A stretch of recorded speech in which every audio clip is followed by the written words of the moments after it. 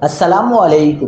کراچی میں موسم کب سے بہتر ہوگا؟ چیف میٹرولوجسٹ نے بتا دیا، کراچی کے آسمان پر سورج کے گرد رنگوں کا حالہ دیکھا گیا۔ حیران کن مناظر سامنے آ گئے۔ کیا آپ حالات حاضرہ سے آگاہی حاصل کرنا چاہتے ہیں؟ خبر کے پیچھے چھپے اصل حقائق جاننا چاہتے ہیں، تو ابھی سبسکرائب کیجیے جلمل پاکستان کو اور ساتھ ہی گھنٹی کے نشان پر کلک کر دیں۔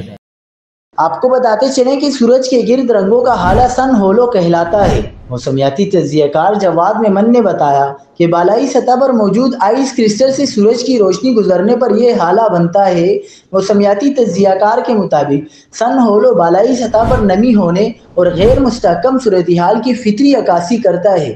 دوسری جانب چیف میٹرولوجسٹ سردار سرفراز نے کہا ہے کہ اکیس جولائی سے شیر قائد کا موسم بہتر ہونے لگے گا۔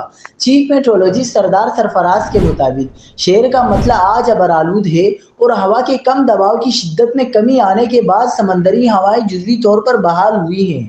ہوا کے کم دباؤ کی باقیات کے زیر اثر کل بھی سمندری ہوائیں مکمل بحال نہیں ہوں گی۔ چیف میٹرولوجسٹ نے بتایا کہ آج کراچی کے مضافات میں کہیں کہیں ہلکی بارش اور بندہ باندی کا امکان ہے۔